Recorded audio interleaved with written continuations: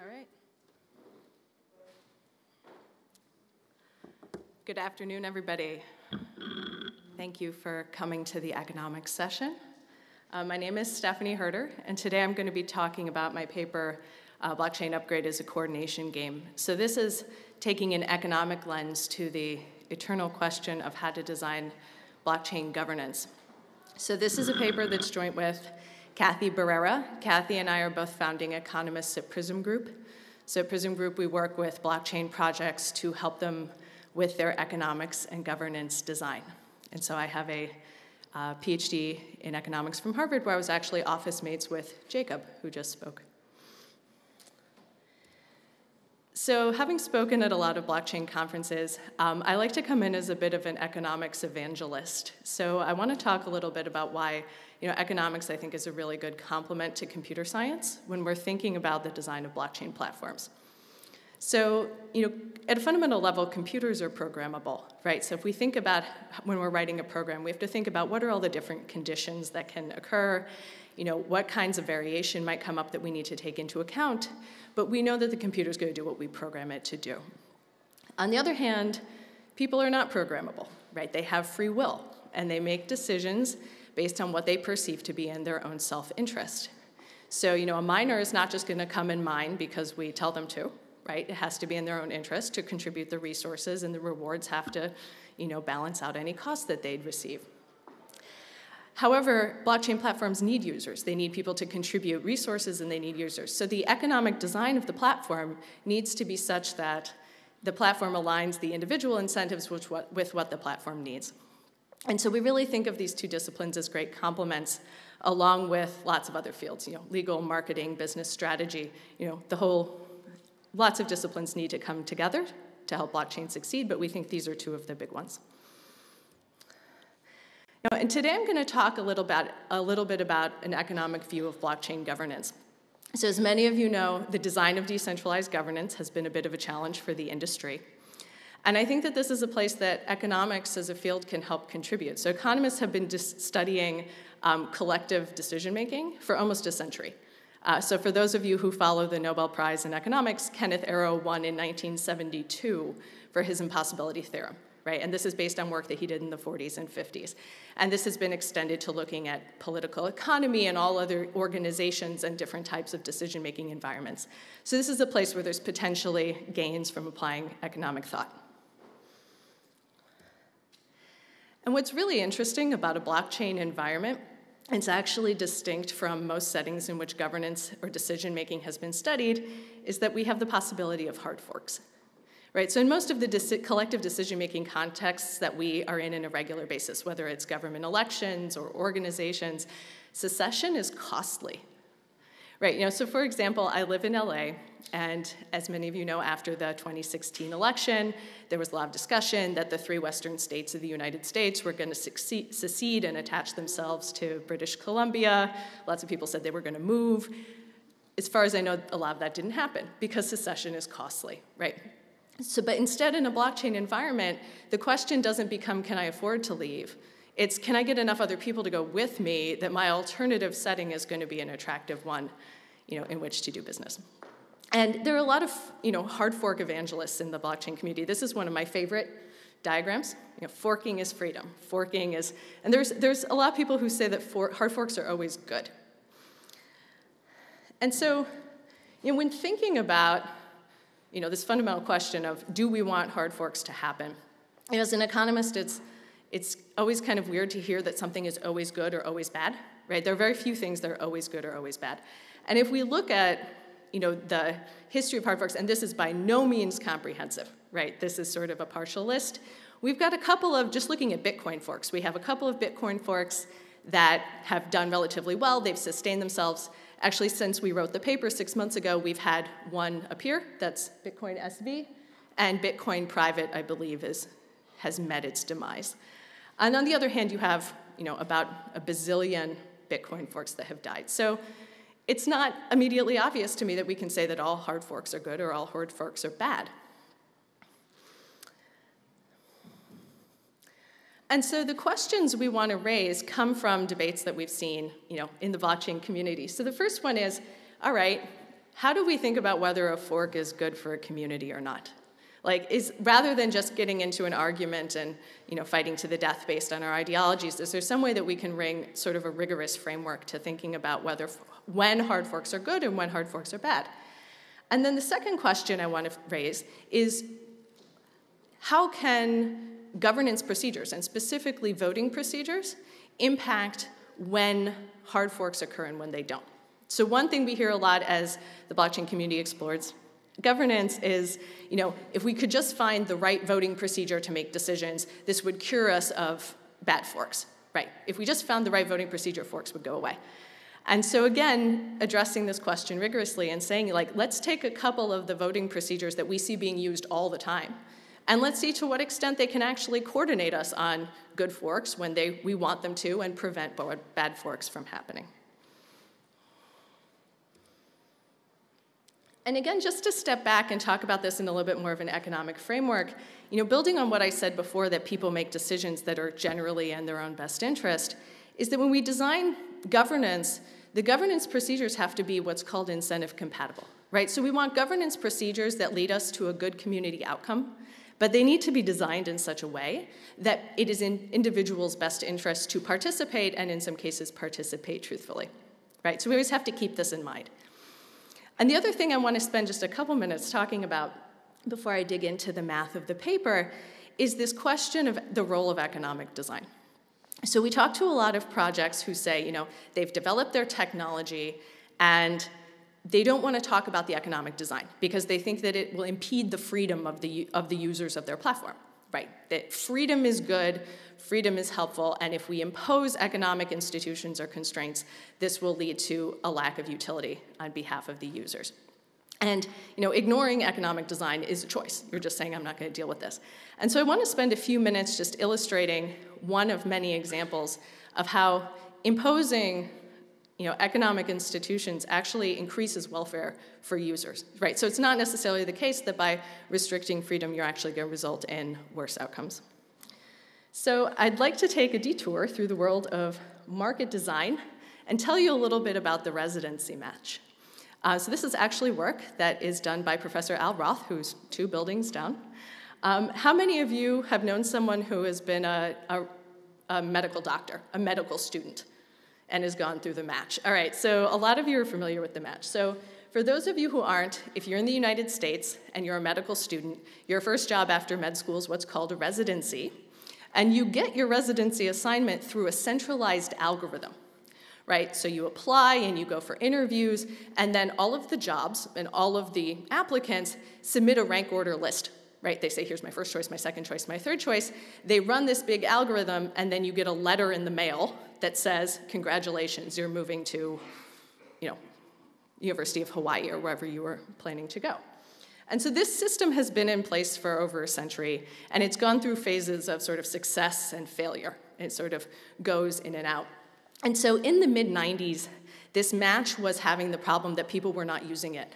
And the reason was actually that um, doctors, medical students were marrying each other, right? But they had to enter the match separately. So spouses would enter, and one would get assigned to California, and the other one would get assigned to Ohio, and they'd say, This is terrible. So they'd try to find jobs on their own right? And what's actually been documented in subsequent studies is this is bad for them, right? The jobs that they were getting through the centralized mechanism were actually better for their careers than the ones they could find on their own.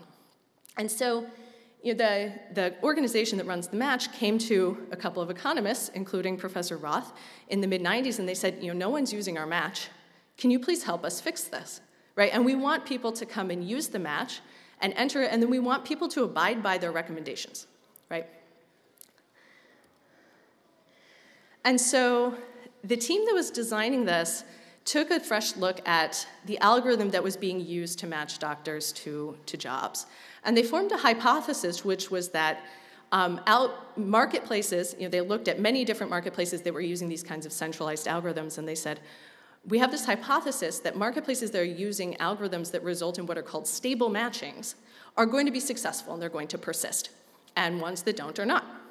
Um, so there's a lot of observational data, you can see it in this table, um, that supported this. And the, the idea of stability is basically that you don't want an outcome where two people want to leave their match and run off with each other, right? As long as there's no sort of job and doctor pair who want to run off and you know, not abide by the, the recommendation, the match is stable.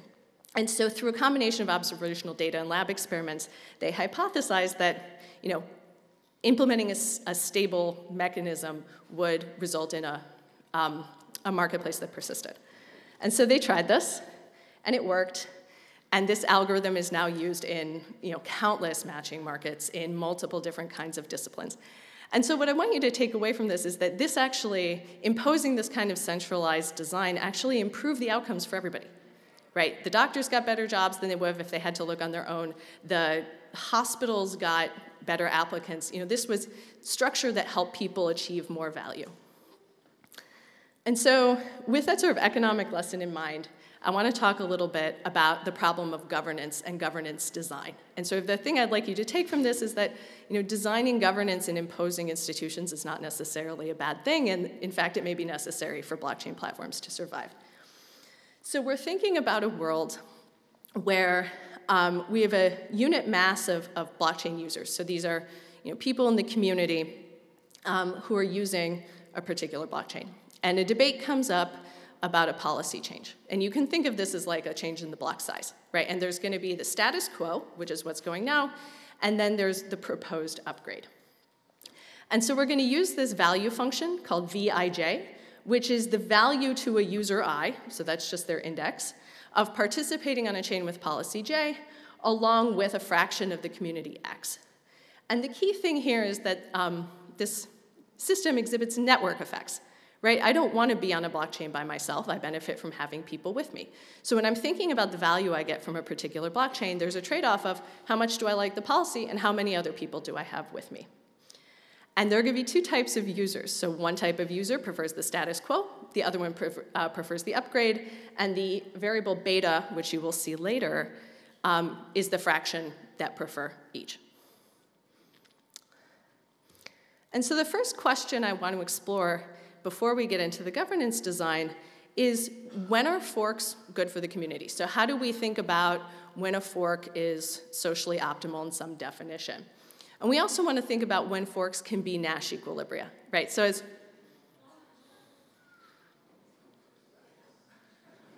All right.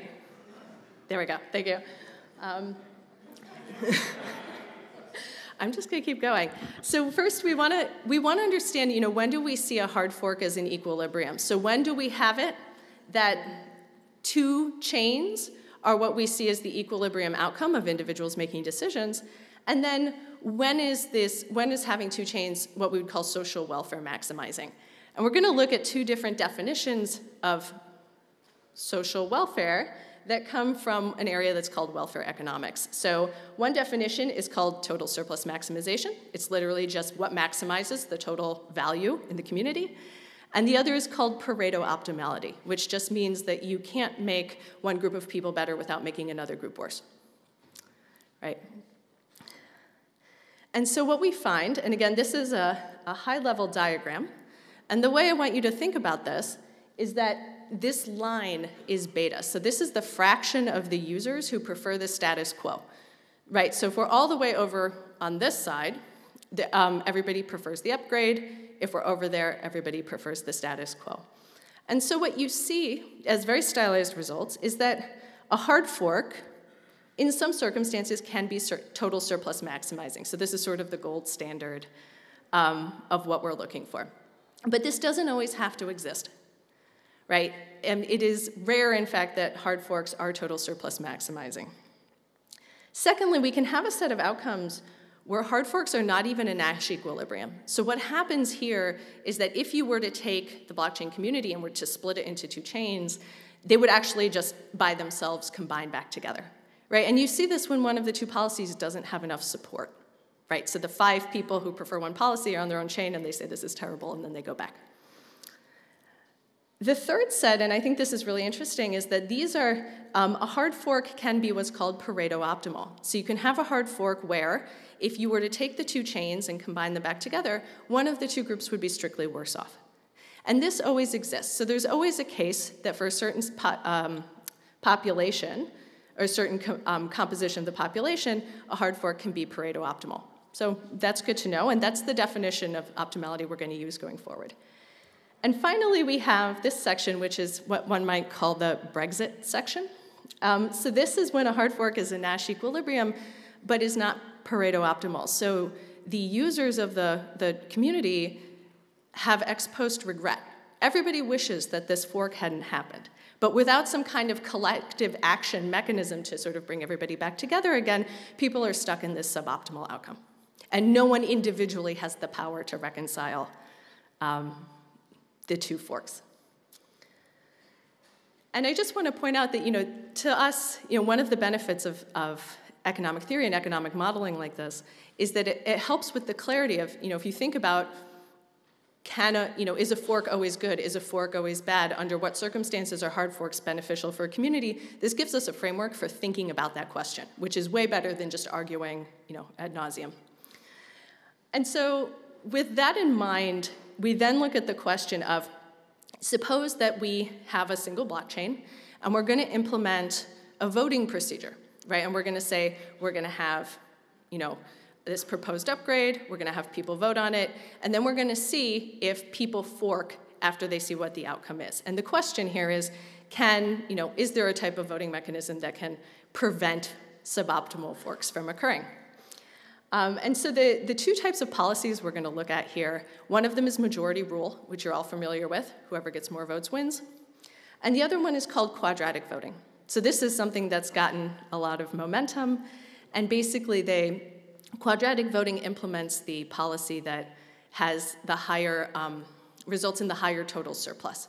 So basically, if you have a very, very passionate minority, they'll never win in majority rule, but they could win under um, quadratic voting.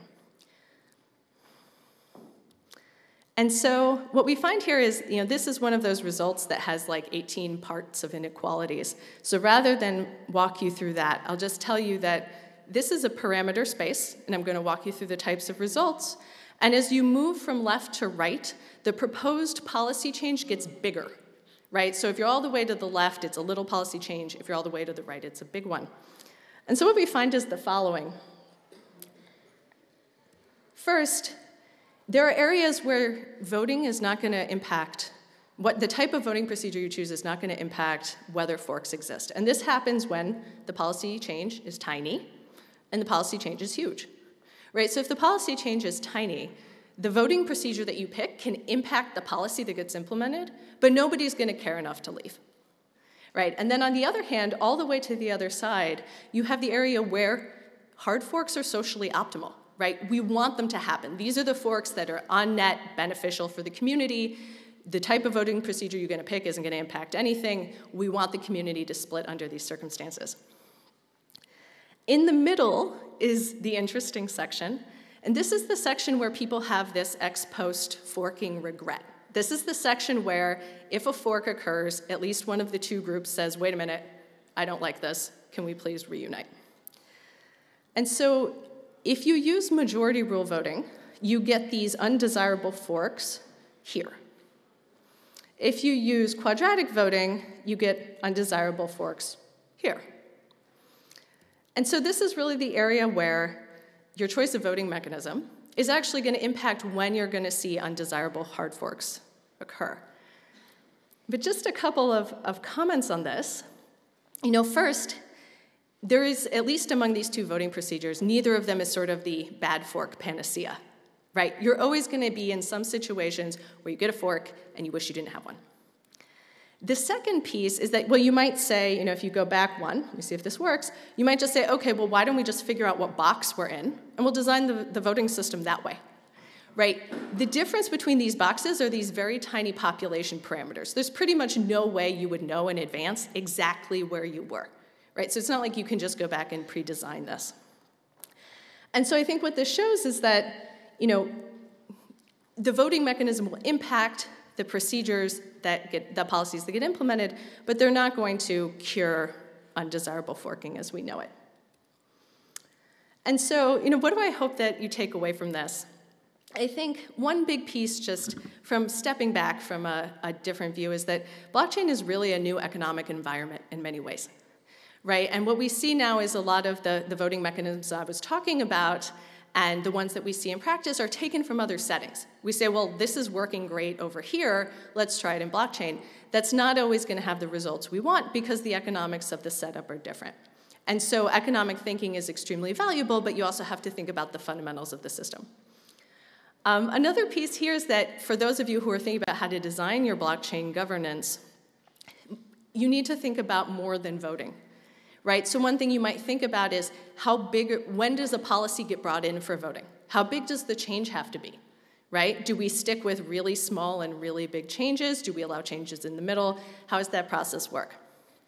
You know, a final piece that I didn't get to talk about but is also important is communication, right? So for those of you who, again, keep following the sort of Brexit debacle, there's a lot of discussion about how the information that was presented by the Leave campaign may or may not have been misleading and then you know, affected the outcomes of the votes. So there's a big piece of this is thinking about how do we disseminate information and make sure it's accurate so that people vote in the way that they want. Um, and then finally, I'll just end with a, a, warning that as we think about the design of, of mechanisms for governance, um, we should beware the theoretically perfect but the uh, practically unimplementable mechanism. So there's a a mechanism in economics called the Vickrey-Clarke Groves mechanism, which is perfect and is rarely, if ever, implementable, right? So we need not just mechanisms that do theoretically what we want, but also ones that we can actually use. Um, and for those of you who might be interested in reading more about the type of work that I'm that the presidency matches in, that Jacob was talking about in his talk, I recommend this book by Al Roth. Um, economic design is used everywhere now. There are lots of books about it. There's lots of interesting research. Um, and, you know, you can highly recommend it. So, in conclusion, um, if you want to get in contact with me, this is my information. Um, Prysm Group will be doing several events at South by Southwest, so if any of you are there, um, I highly recommend please come and see us. So I think that's it.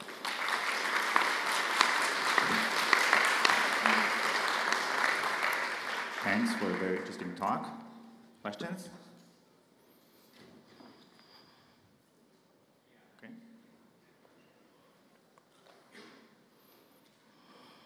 Um, very good presentation. So I have a question about, uh, I don't know if you're familiar with the uh, uh, governance design for Polkadot. So basically they have a design where um, if there's a unanimity, uh, like in, within the committee, like there's a very high probability of adoption of policy. But like as long uh, as one person disagrees, um, the probability of adoption is like decreased by a lot. So uh, to accommodate for the possibility, so the argument is that if everybody agrees, then it must be a software bug. Like it's something that um, people like it's an unintended error. But as long as one person disagrees, it, uh, likelihood it's uh, software bug decreases by a lot. So what do you think that kind of design?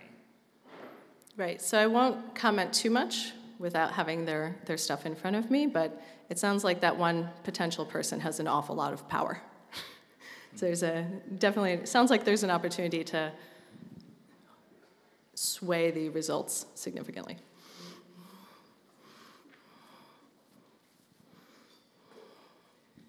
Hey, thanks. Uh, great talk. I'm an economist too, political economist. In, in the end, uh, you were saying that, um, yeah, it's a, it's a new economical environment. But uh, so the question is that don't you think that the economics should change too? You know, that uh, maybe, maybe there's opening a possibility that we can rethink what, what value is, what rational behavior is. Well, unfortunately, we don't have an hour to answer that. I think it's a great point. Um, I think that a lot, a good amount of the, the work that's been done on how individuals make decisions, and that includes both sort of standard theory and behavioral economics, will be very useful. And I think that there'll be a lot of ways, there'll be lessons on what not to do.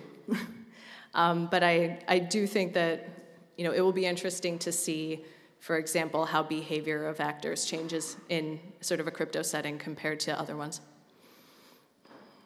Hi, um, thank you for um, thank you for the talk. It's good to hear from more economists.